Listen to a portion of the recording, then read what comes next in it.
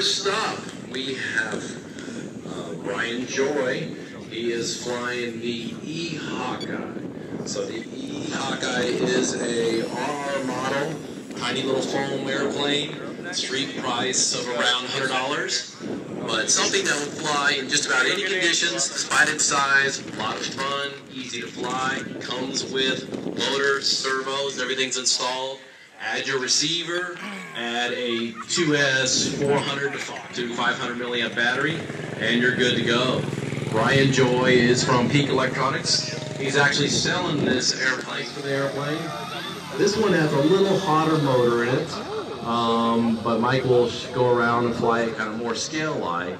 This airframe is very slippery. It's a lot of fun to fly. Just so true. It's a aileron and elevator only. Uh, you really don't even need the rudder. It just flies around like that. Beautiful. Again, even if it's windy, this plane handles it really well. Hitec team pilot Kim Quinnett just took off flying the Hitec Weekender Extra 300. This is another RR model.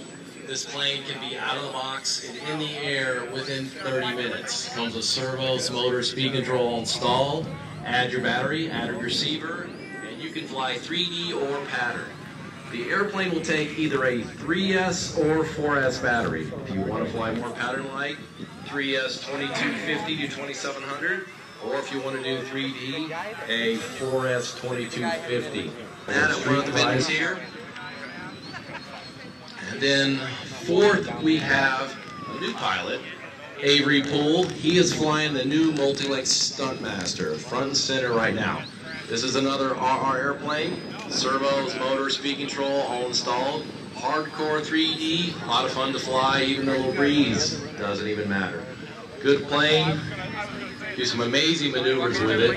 Street price for this is $169.99. And just add your little receiver, add a, oh, he saves it.